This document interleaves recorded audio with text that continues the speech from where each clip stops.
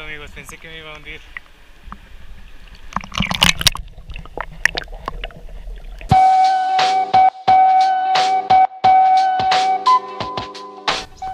Hey, ¿qué onda amigos? Bueno, pues me encuentro caminando aquí en el pueblito de Tecosatla Hidalgo nuevamente y pues bueno, me dirijo a un lugar que se llama El Oasis. Es una alberca, un balneario y la verdad es que está bastante chido y la ventaja que me gusta de esto es que yo me estoy quedando en el centro de aquí del pueblo y pues se puede llegar caminando, es bastante cerca.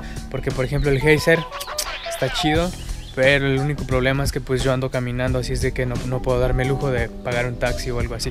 Y pues este está sumamente cerca, voy a aprovechar eso y me voy a ir a dar un chapuzón mañanero.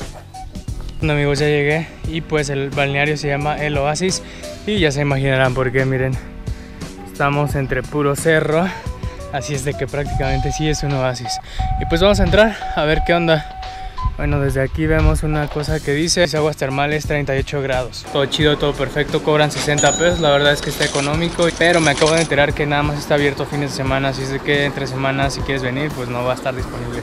Pero fines de semana sí, pues al parecer llega un poquito temprano, así es de que las albercas apenas están llenando como pueden ver ahí.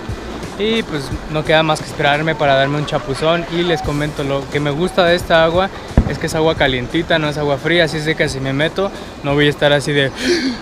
No, eso no va a pasar porque el agua está calientita aquí, así es de que todo va a estar chido, todo va a estar perfecto y les voy a mostrar qué onda. Ah, bueno amigos, y pues aquí arribita hay un pequeño pues tobogán del cual no me voy a aventar porque yo la neta no soy nada, nada, nada extremo, así es de que, como que no.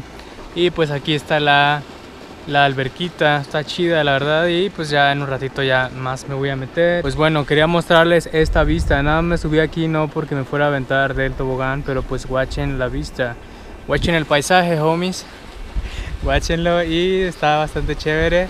Y ahorita les voy a poner unos videos chingones que grabé desde aquí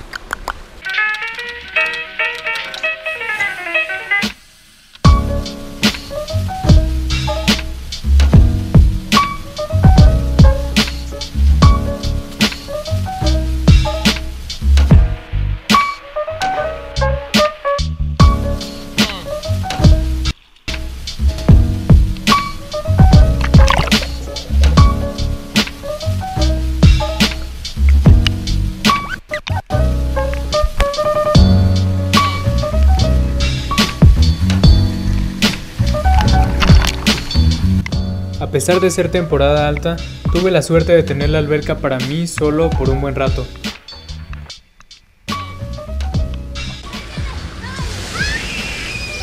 Bueno amigos, ya llegó mucha gente aquí a la alberca y pues como sabrán ustedes yo soy un lobo solitario. Así es de que mejor me salí y me vine a echar una chavecita. Y pues por ahí se ve algunas personas ya. Se está llenando esto, la verdad está chida la alberca y pues de preferencia si son como yo que les gusta tener la alberca para ustedes solos, pues vengan temprano y madruguen un poquito y pues vénganse para acá y está chingón la neta. Salud. Al estar en un lugar como Tecozautla, decidí ir a explorar el monte, el cual está rodeado de paisajes únicos y algunas frutas típicas como el garambullo.